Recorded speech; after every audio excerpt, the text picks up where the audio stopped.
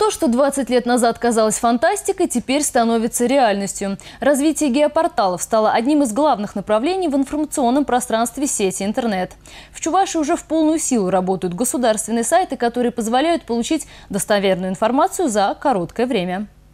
Государственные услуги на интернет-портале Росреестра доступны каждому. На сайте можно получить справочную информацию по объектам недвижимости, узнать их кадастровую стоимость, а также сделать запрос для получения более подробных данных. А чтобы избежать очередей, жители Чувашии могут предварительно подать онлайн-заявку на любое удобное для них время.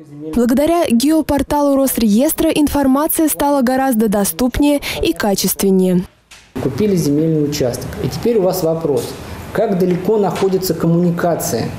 Вот вы идете в управление архитектуры, а они вас, вам говорят, а у нас данные устаревшие, идите в водоканал, идите там в горэлектросеть, идите туда-то. Вот этого быть не должно.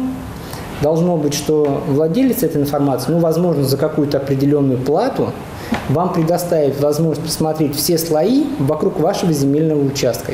Создание геопортала – это длительный и трудоемкий процесс.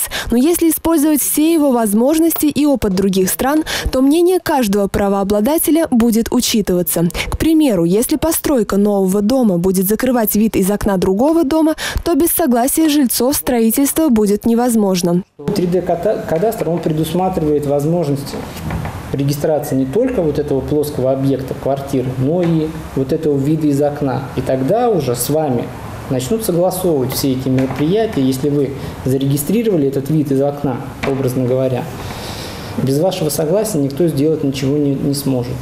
Такие перспективы для республики и других регионов России уже в ближайшем будущем. На сегодняшний день необходимо вносить изменения в законодательную базу и разрабатывать новые методы работы с геопорталом. Татьяна Филатова, Евгений Анисимов, Республика.